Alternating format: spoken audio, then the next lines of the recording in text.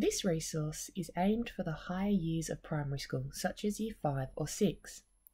By comparing and contrasting families from the past, present, and into the future, students can acknowledge the changing family structures in Australian society.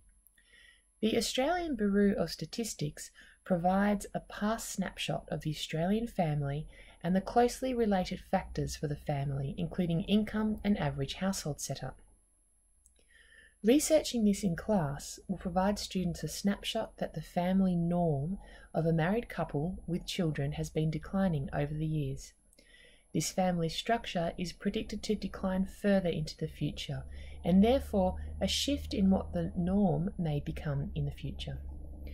With students investigating what family structures were and comparing and contrasting how they are different now, provides a discussion topic for students to delve into and provide opinions and or facts as to why these changes may be occurring.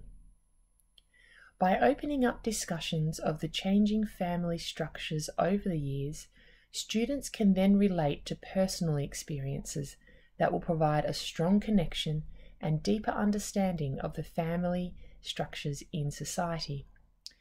An extension of this task may be for students to research what the projections are for the family structures in the future. As well as developing discussion points for a changing family structure, the compare and contrast diagram allows students to build skills in a variety of areas aligning to the Australian curriculum, including research skills, safe ICT conduct, social awareness of their environment, including the school setting, plus English skills by making connections to changes in society and the influences that may affect this change.